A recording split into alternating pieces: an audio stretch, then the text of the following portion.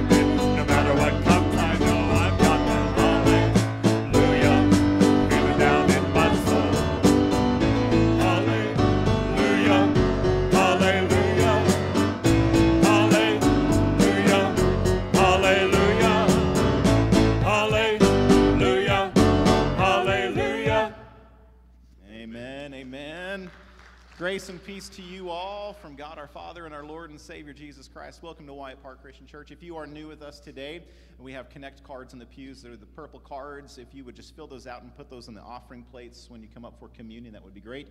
Or there's a QR code in your bulletin to fill out that connect card. Uh, tonight at 6 p.m., we're going to have the Sound of Hope movie here in the sanctuary. Again, it's a very powerful movie based on a true story. Uh, again, it's not intended for, for children, and if someone's had maybe a history of abuse or neglect, it could be uh, troubling for, for some people. But it's a very powerful movie. So tonight at 6 p.m., Sound of Hope. Uh, the Open Door Food Kitchen, we will be serving there downtown the Wednesday before Thanksgiving. And so, if you can help either by donating food or actually serving food on the 27th, there is a sign up sheet inside the social hall. Um, a lot of things in your bulletin, so look at the insert in your bulletin for all of the announcements and things coming up. But for now, let's go ahead and continue.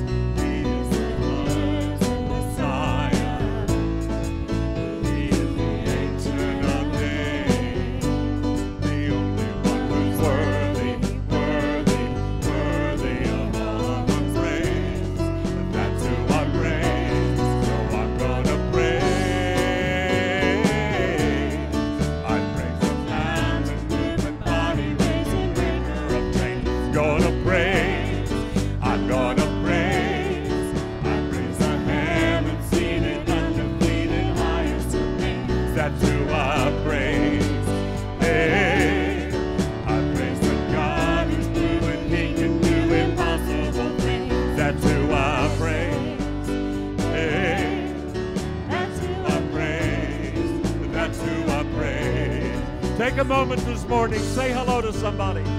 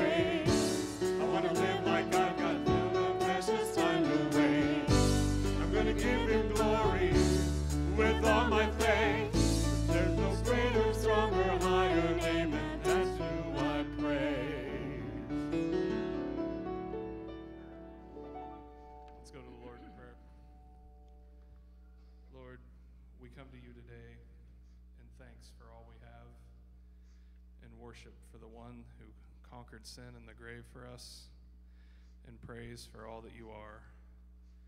From in the beginning to eternity, you will be the one and have been the one that has loved us, has forgiven us, who raised Lazarus, who moved mountains who left the 99 to come find us, the lowly one wandering sheep, and guides us back to your path of righteousness.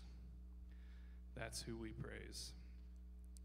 Father, we love you and we want to live like you, to accept those that are different than us, to be neighbors, to love our neighbors as we love you, and to be neighbors for those, the sheep who are lost and don't know you. Make us your shepherds. Give us the strength to say, Use me, mold me, and build within me. Because you are the carpenter. Make us an image of warmth and welcoming to those that are looking for your light. Build your kingdom here within us so we can all move together down your path to the day when every knee will bow and all God's people will say, Come set your rule and reign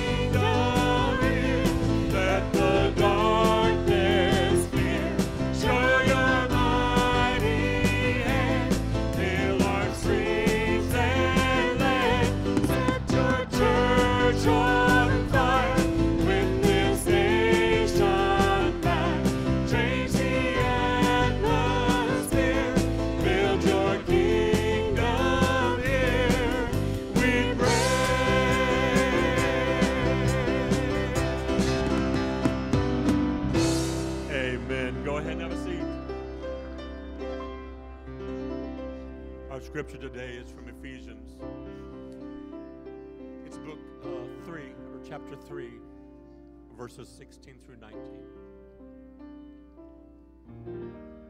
I pray that out of his glorious riches he may strengthen you with power through his Spirit in your inner being, so that Christ may dwell in your hearts through faith. And I pray that you, being rooted and established in love, may have power, together with all the Lord's holy people, to grasp how wide and long and high and deep is the love of Jesus, and to know this love that surpasses knowledge, that you may be filled to the measure of all the fullness of God.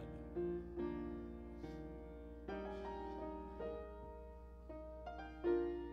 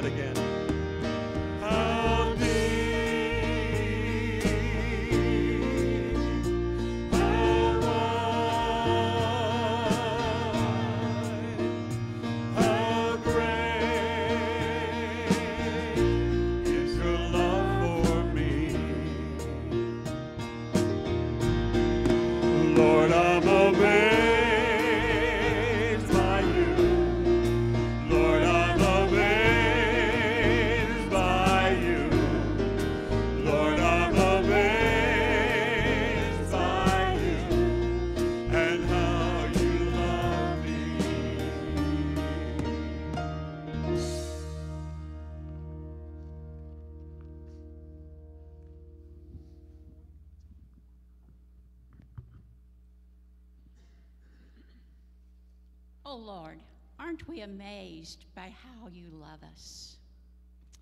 How you're always with us. So, would you please join me as we confess our sins together? Most merciful God, we confess that we have sinned against you in thought, word, and deed by what we have done and by what we have left undone. We have not loved you with our whole heart. We have not loved our neighbors as ourselves. We are truly sorry and humbly repent.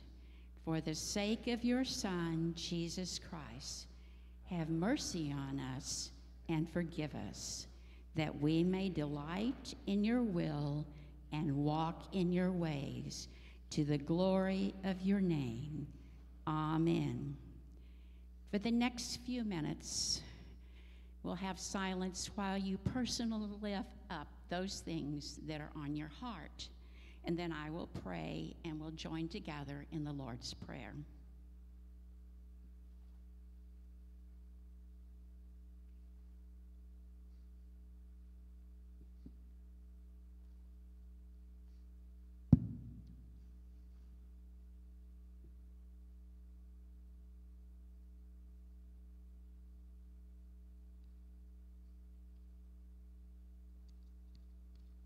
Gracious God, all knowing Father, I pray for the strengthening of the church around the world and for our staff, our witness as a church family, and personally here in St. Joe. May we be bold as we are assured that the Holy Spirit goes before us, beside us, and through us. Abba, Father, in our broken world, those among us with concerns about health, grief, safety, employment, financial, emotional, spiritual, or political, or something else. God, please comfort and bring healing according to your will. We are grateful for answered prayers. Jesus has called us to love each other and to make and grow disciples. I pray these things in the name of Jesus Christ, the one who taught us to pray using debts and debtors, our Father who art in heaven.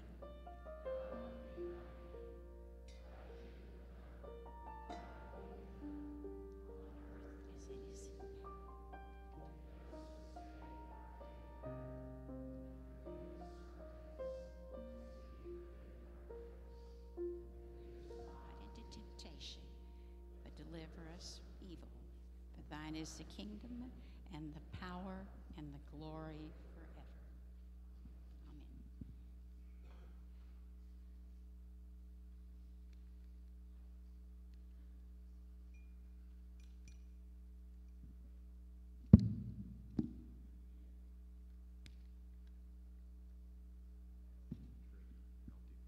Amen. Thank you for the assistance God always provides for the need as we light this candle representing the Holy Spirit within us. And isn't that great how we come together to support one another on this day? Thank you.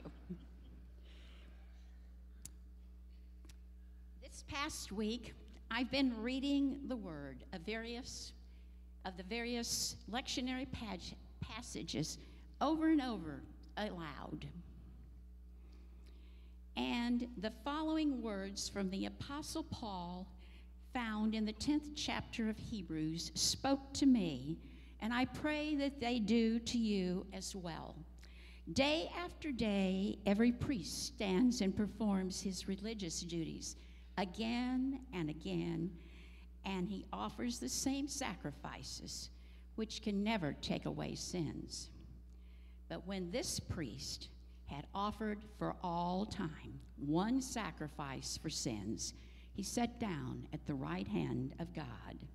And since that time, he waits for his enemies to be made his footstools. For one sacrifice, he has made perfect forever for those who are being made holy. And where these have been forgiven, sacrifice for sin is no longer necessary. Therefore, brothers and sisters, since we have this confidence to enter the most holy place by the blood of Jesus, by the new and living way open to us through the curtain, that is, his body. And since we have a great priest over the house of God, let us draw near to God with a sincere heart and with a full assurance that faith brings, having our hearts sprinkled to cleanse us from guilty conscience and having our bodies washed with pure water. Let us hold unswervingly to the hope we profess, for he who promised is faithful. And let us consider how we may spur one another on toward love and good deeds, not giving up meeting together as some are in the habit of doing, but encouraging one another. Bless the reading and hearing of his holy word. Jesus calls each one of us to this table of remembrance. So join me in prayer. Almighty God, as we draw near the Lord's table, we come humbly recognizing the great sacrifice of your Son, Jesus Christ. Sanctify the bread and the fruit of the vine. Let them be for us the body and the blood of Jesus. May this Holy Communion strengthen your faith, deepen our love for you and for one another, and renew our spirits. Help us to remember the great cost of our salvation and live in gratitude for you, of your extravagant grace. In the name of Jesus Christ, our Lord and Savior, I pray. Amen. On the night when Jesus was betrayed, he took the bread. And when he had blessed it and given thanks to, to his disciples, This is my body. Take and eat. Do this in remembrance of me. The cup. After supper, Jesus took it and blessed it and gave it to his disciples, saying, This is my blood shed for the forgiveness of sins. Do this as often as you drink it in remembrance of me. This table belongs to Jesus, not Wyatt Park. We welcome all who confess Jesus as Lord to come to this table of remembrance with humility and in faith. We simply come down the center aisle in two lines, beginning at the front. And if you need gluten free wafer, it will be right here in the center. And then uh, there will be bread, and then you can move on. And if you choose to dip it in the cup, you may, or there are cups, individual cups at the end. So you'll notice offering plates on the ends of the aisle as you walk by to your seats. The monetary offerings go for the supporting of various ministries of this congregation on a weekly, monthly basis and help us keep this house of worship open and in good order and preserve it for future generations.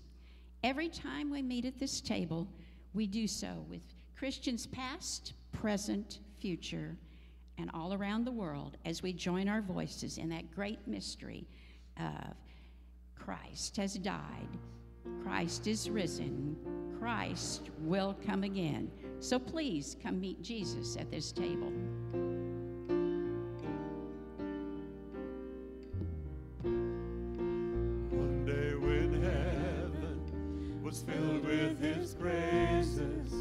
One day when sin was as black as could be, Jesus came forth to be born of a virgin, dwelt among men, my example is he. Word became flesh and the light shined among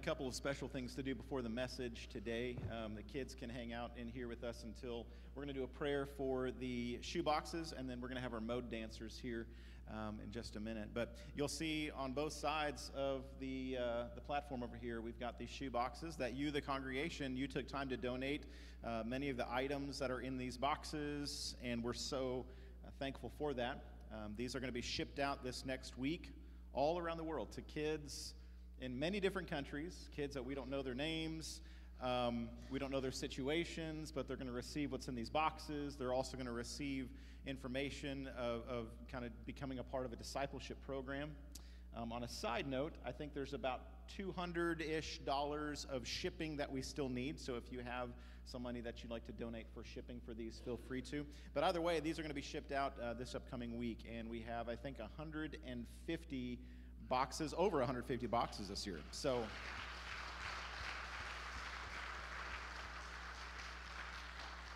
I was talking to some of the volunteers who are instrumental in putting these together and collecting everything, and it was their goal to, to, to basically have more boxes than we've had in the past, and, and they surpassed um, their goal. So thank you so much to all of those who have, have worked on this. And so now, as we bless these boxes, let me invite you to stretch a hand towards uh, these boxes and let us go before the Lord and ask His blessing upon these. Father, we just want to thank you so much for the givers of all of the materials in these boxes. They seem very simple toys and gadgets and hygiene products, things that uh, sometimes we take for granted. But Lord, we know that inside these boxes, what's contained is far more than just these, these little things. Um, inside these boxes are things that are going to represent your hands and your feet to kids, boys and girls all around this world. Um, and so, Lord, we thank you for the receivers who are going to take these into their homes in the next month, for those who are going to be shipping them out, and those who are going to be delivering them through truck and plane and boat, and whichever way these boxes are going to be shipped across the world, Lord, we pray your hand to be upon those who are delivering them. And Lord, those who open them, I thank you that you're going to plant a seed in their hearts that all of these boys and girls would come to know you as Lord and Savior of their life. And so, Lord, for the givers here today who gave of these items, Lord, we thank you that it is so true that it is more blessed to give than to receive. And Lord, we feel that. Thank you for giving to us first, that we might be a vessel for you. We pray these things in Jesus' name. Amen. I'd like to invite our mode dancers. Yeah, let's, let's go ahead and get this table moved here.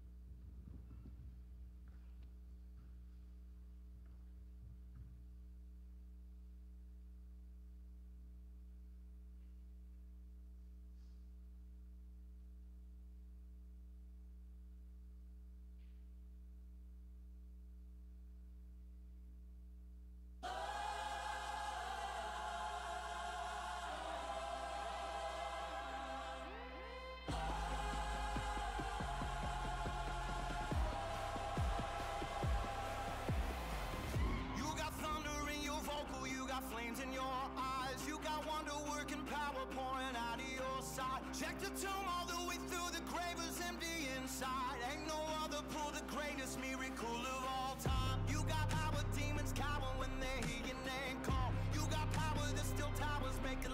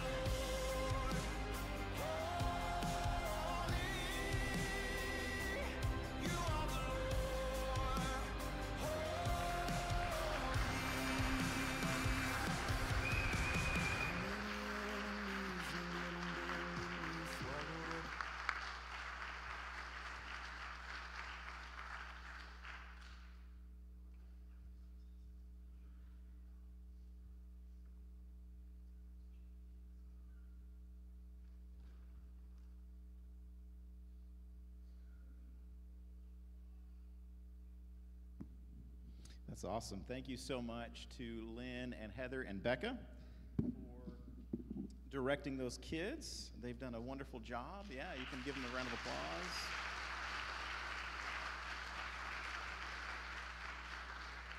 And uh, if there are kids who saw that that would be interested in being a part of that in the future, uh, I think they're just planning on like they've been doing just about every semester. So, um, so awesome to see that. Today we are finishing out our series in the book of Daniel. So Daniel chapters 10 through 12 is is going to where we're going to be putting our attention today. Um, and you know, so it's it's hard to believe we we started this message series going through Daniel back in September, right after Labor Day. And, and so, you know, I suppose time just goes by when you're having fun. I don't know about you, but I've been having a good time with this. I've been having a good time. I hope you've been having a good time. Um, it's been really fun to kind of go through this book as a whole and kind of consider the message as a whole.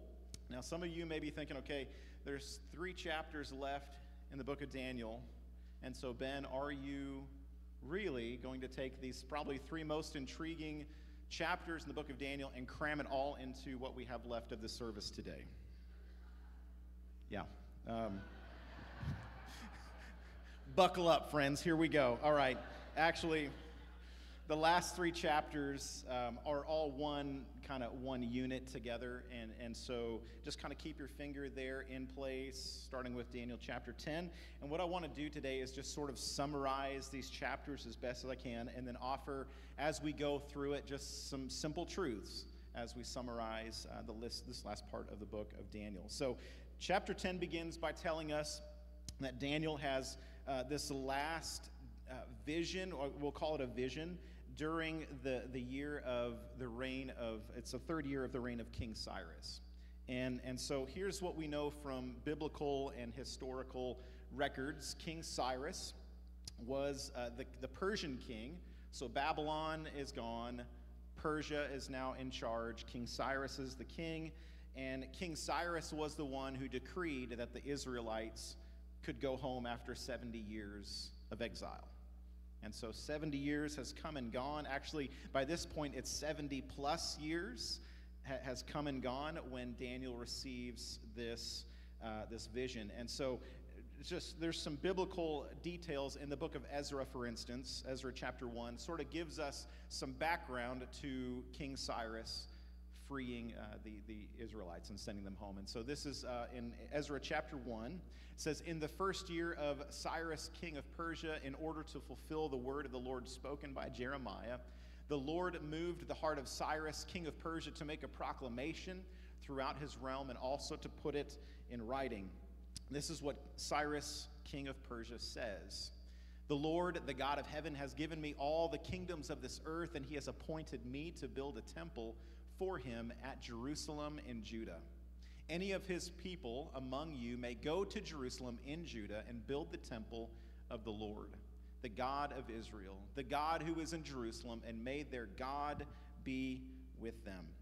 And so, um, basically, we'll, we'll, go on, we won't keep reading, but so basically, what, what King Cyrus does is this is what we've been waiting for throughout the entire book of Daniel. We've been waiting for God to send the Israelites back home. God uses King Cyrus to do that.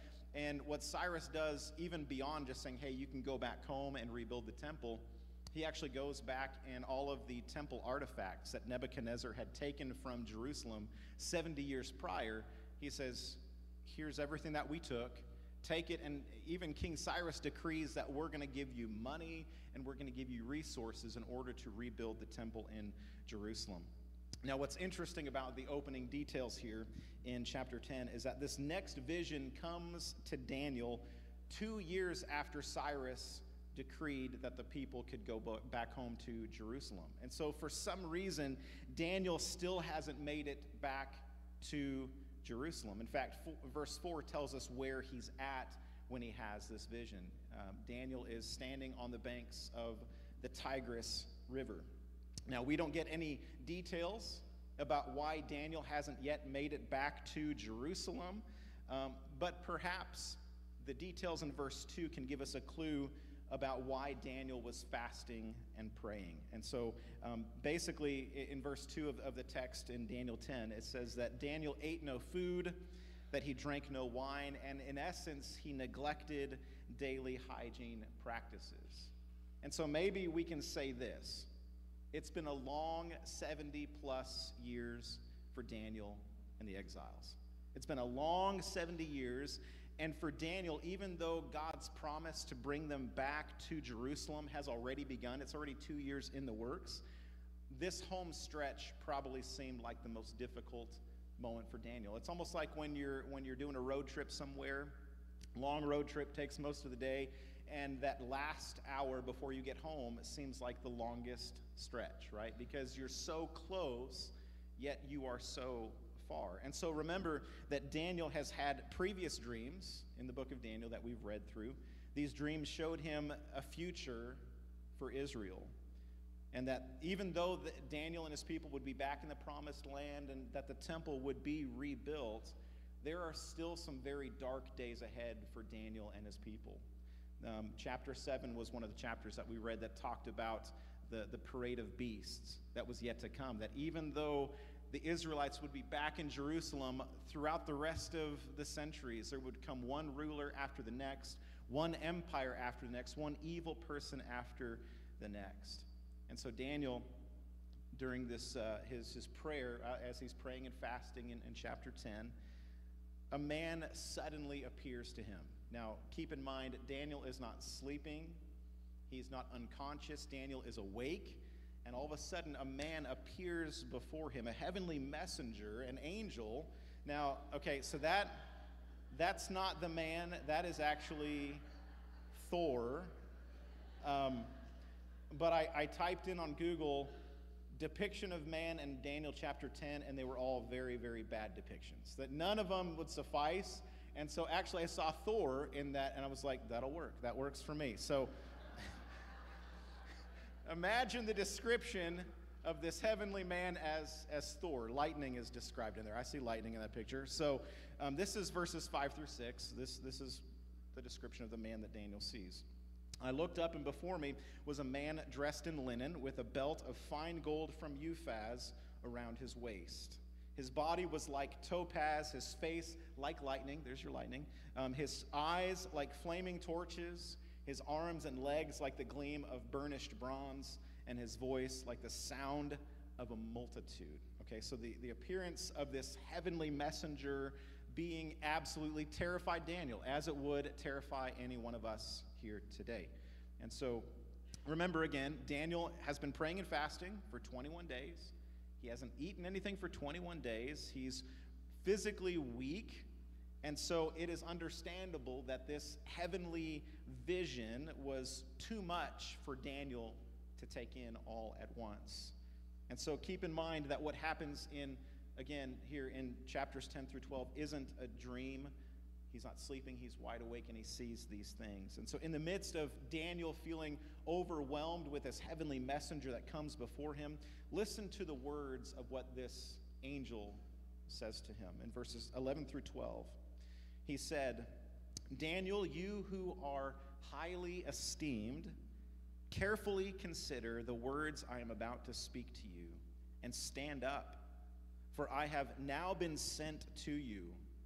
And when he said this to me, I stood up trembling.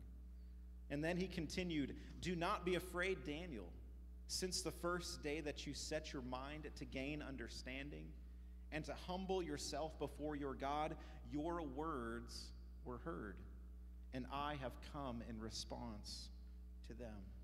And so these initial words are said to Daniel, and then the text goes on to say that Daniel was still just overwhelmed by this entire experience. And he confesses to the angel that he has no strength, he could barely even breathe.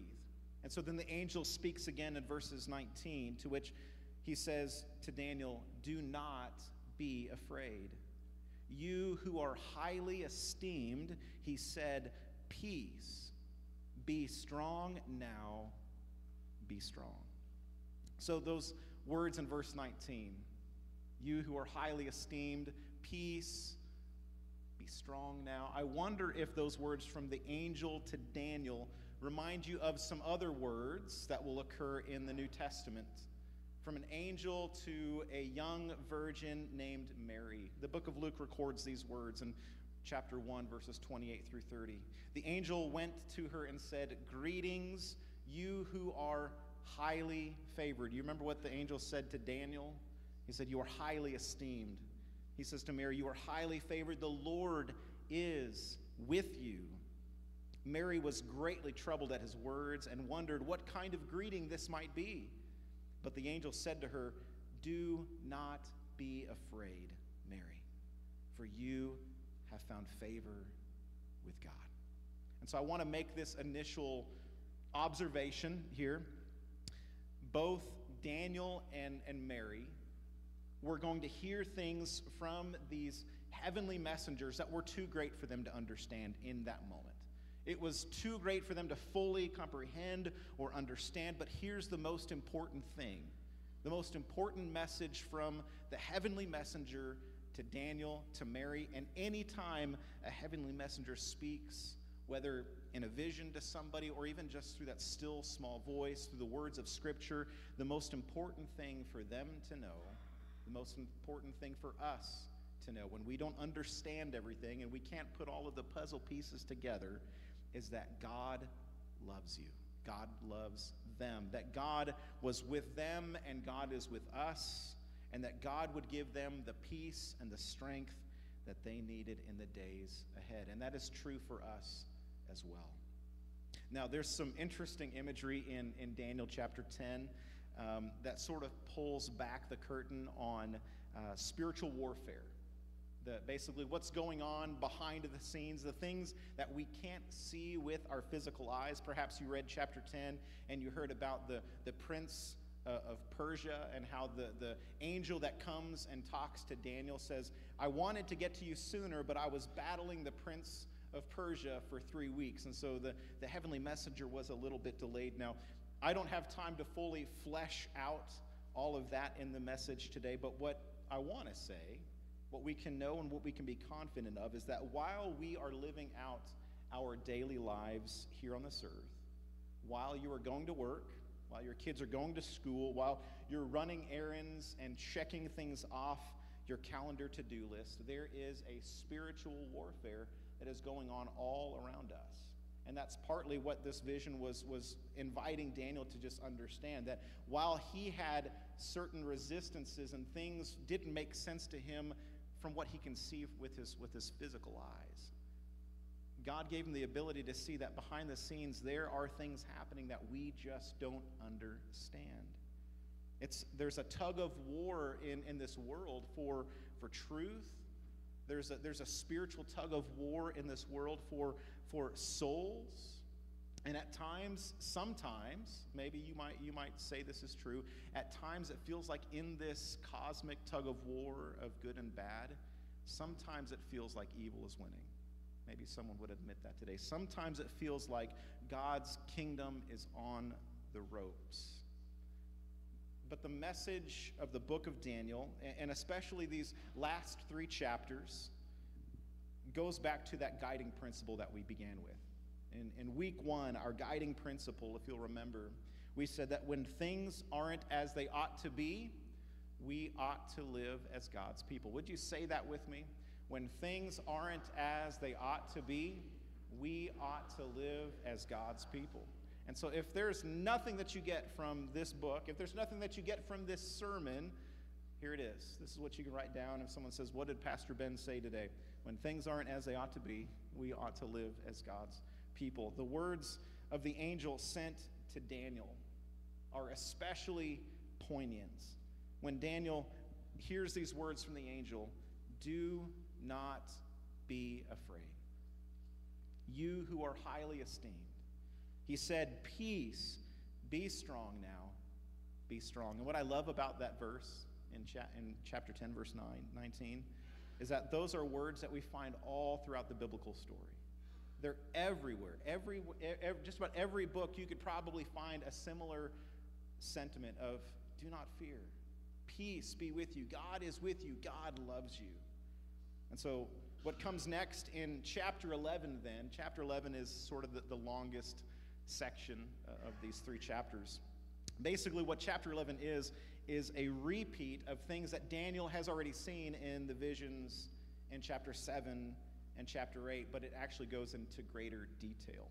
Now, I haven't seen the, the streaming series Game of Thrones, but I think Daniel 11 would make great material for a new season if they were to make a new season. I don't know if they're still making new seasons of Game of Thrones or, you know, any other, you know, se- streaming series that, well, here, here's the content of, of Daniel chapter 11, just summed up.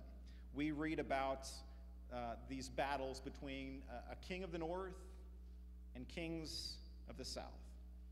So, chapter 11 is full of ongoing battles for wealth and power and resources. We read about divided kingdoms, about alliances that are made and broken. We read about the formation and rising up of great armies, and then comes along an even greater army who takes over that army. We read about the rise and the fall of these kings from the north and the south. These kings had their moment on top, but all of them, every single one of them in chapter 11, learns the hard way that all things will come to an end. Everything is going to come to an end. And so, what does Daniel 11 have to do with God's people? Well, for the next few hundred years, and this will be long after Daniel is, is dead, for the next few hundred years, there's going to be these wars, as I said, between the kings of the north and the kings of the south. And the kings of the north basically were the, the Seleucid Empire, modern day Syria. They would be battling against the kings of the south, which represented the kings of the Ptolemaic Empire or Egypt. So, for the next couple hundred years, Syria and Egypt, their kings are going to be battling. And can you take a guess who is smack dab in the middle of those kings that are warring? It's Jerusalem. It's Israel. And so basically, what happens is there's sort of collateral damage as these kings are meeting in the middle, and, and Israel is paying the price for these warring kings all throughout these hundreds of years. And so God's people would suffer as, as bystanders. And then finally, the end of, of chapter 11 describes what we've already talked about. The, the Greek Empire will come to power Alexander the Great, and then finally Antiochus Epiphanes will come in. He'll set his sights on, on Jerusalem in the 170s BC. He'll desecrate the temple, set up an altar to Zeus, slaughter a pig in the Holy of Holies. And so that's what chapter 11 is, is building up to. And then chapter 12, um, I think for, for some people you might have read, and in your Bible, the heading for chapter 12 might say something like this The End Times, right? So you, you kind of get to chapter 12, you've been reading chapter 10 and 11, and then we sort of separate chapter 12 and say, oh, this is the good stuff right here. This is about the end times. Well, friends, scholars and theologians disagree on when those end times are referring to. Uh, the words in, in Daniel, we can be sure of this that when Daniel wrote down these words in this vision, that he didn't write it down in this book so that people could read it and say, oh, this isn't about my time, this is about someone in the future. As we've talked already about these prophecies in, in the book of Daniel, that these prophecies have been relevant to God's people all throughout the centuries no matter what era they're living in. And so we can confidently say that throughout human history, there are different ages. There are different chapters, we might call them episodes, that begin and they all come to an end. And so Daniel himself, the end times for Daniel would be the end of the, the exile in Babylon. There was going to come a time where the second temple in Jerusalem would be destroyed by the Romans in AD 70. That was the end of a chapter, the end of an era. And so, for every human who's lived on planet Earth, who's lived through the end of some era or, or chapter of this earth, the, the words in the book of Daniel are extremely relevant to us. For, for every generation of humans who've lived on this earth, the book of Daniel gives a good word to everyone in their distress. And so in chapter 12, verses 1 through 4, and also verse 10. This is, these are the words. There will be a time of distress, such has not happened from the beginning of nations until then. But at that time, your people, everyone whose name is found written in the book, will be delivered. Multitudes who sleep in the dust of the earth will awake, some to everlasting life, and others to shame and everlasting contempt. Those who are wise will shine like the brightness of the heavens, and those who lead many to righteousness like the stars forever and ever. But you, Daniel, roll up and seal the words of the scroll until the time of the end. Many will be purified, made spotless, and refined, but the wicked will continue to be wicked. None of the wicked will understand, but those who are wise will understand. The words of Daniel to everyone who's read these words basically tells us that there are tough times ahead. There are tough days ahead, but there's also beyond that, there is unmeasurable good and unmeasurable beauty for those who wait upon and those who put their hope in the Lord. So Daniel gives us these sobering words that say, in the end, all will sleep in the dust of the earth. In other words, what the book of Daniel is telling us is that we're all going to die. I hate to break that to you today. We are all going to die. The righteous and the wicked, the powerful and the weak, the rich and the poor, the prideful and the humble, we are all going to sleep in the dust of the earth. But then, did you catch what it says in verse 1? Everyone whose name is found written in the book will be delivered. Now, it's interesting. Daniel writes about this book where people's names are written in, into. Hundreds of years later, John the Apostle would write a letter to seven churches in Asia Minor. The, the letter is the book of Revelation. And in that book, John would write about another book, or maybe it's the same book, the Lamb's Book of Life. And in the book of Revelation, John's message is this to all who keep the faith, to all who in humility endure through tough days and tough times ahead, to all who hold on to the hope and the profession of Jesus as Lord above all others, to all those people, they will inherit the kingdom of God that is to come. So, to the faithful, to, to the humble, to those who persevere, there is an inheritance beyond these dark and dreary days. Listen to these final words to Daniel from the heavenly messenger. This is in verse 13. It doesn't seem very spiritual, but listen to these. As for you, go your way until the end. You will rest and then at the end of the days, you will rise to receive your allotted inheritance.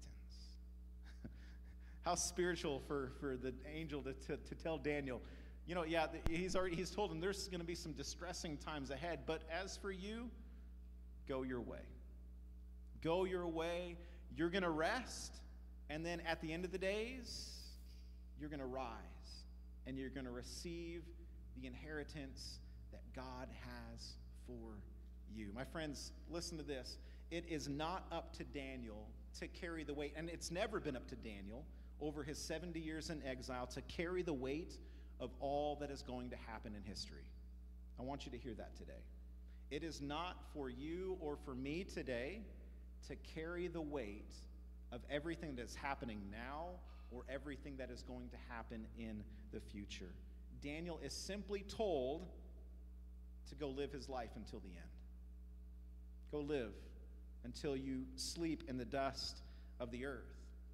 And then at the end, at the end of his life, there's an inheritance. There's a reward waiting for him. My friends, for Daniel, for countless number of God-fearers and Christians all throughout the centuries. And who knows how long it's going to be until Jesus comes back. But until that day, we know it hasn't and it won't be easy. But this we can say 100% this that we can say is that it's going to all be worth it in the end. At, at the very end of the age, it is going to be worth all of the trouble and the distress that we face. Let me close with the words to this song. I think it's my favorite current song right now. It's uh, called The Sweet Ever After by Bear Rinehart and Ellie Holcomb. Listen to these words. This is the chorus. Got a lot of bad days still coming our way, but it's sweet ever after. Wind and waves breaking over our walls, but the ship, it don't shatter. There'll be a lot of blessing by a life well lived as you lose what don't matter. But the sun's coming up on the stairway to heaven, and it's sweet ever after.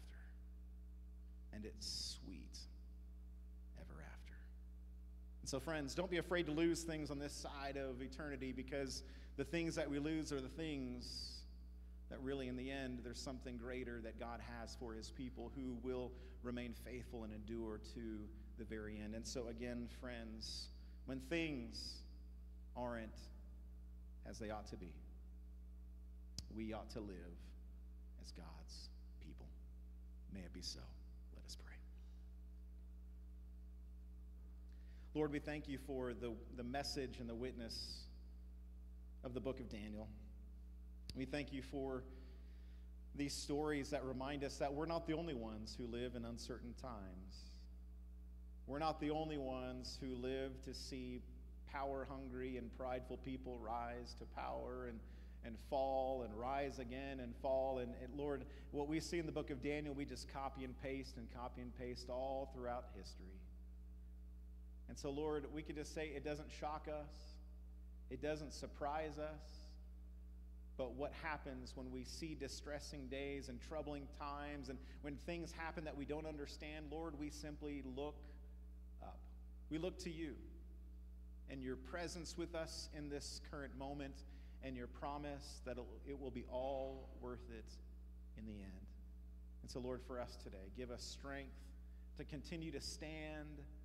Give us peace in our hearts. Give us joy for every day of life that we have here on this earth. And Lord, when it is done, when we find ourselves sleeping in the dust of the earth, may it be so that our names are written and that Lamb's book of life. We give you thanks and praise, and it's in Jesus' name. Amen.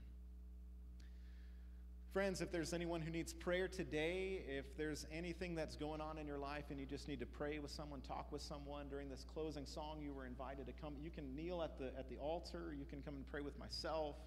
Um, if you need to go into the prayer chapel, you are welcome to do that. Pray with someone around you. If there's someone here today that you have questions about faith and you, you, want to give your, your heart to Jesus, you want to become a disciple of Jesus, but you're just not quite sure, that's okay. Reach out to us on staff. We'd love to pray with you, talk with you sometime during the week. Let's go ahead and stand up and sing this closing song. I love you, Lord. Your mercy never fails me.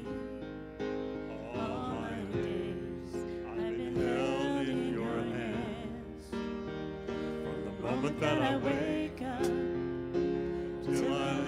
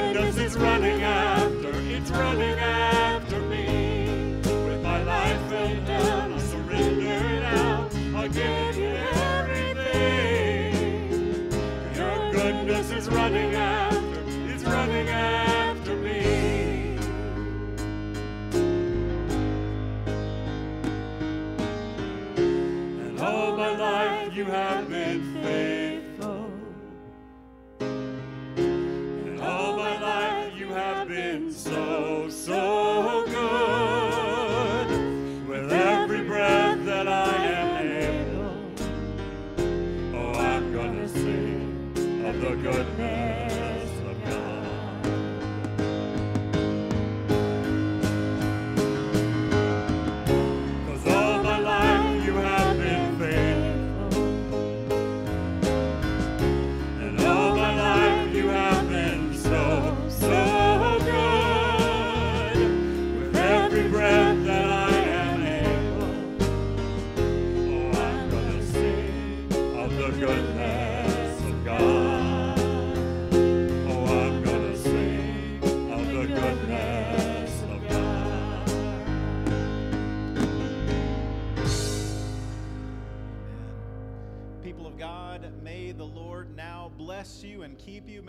make his face to shine on you and be gracious to you.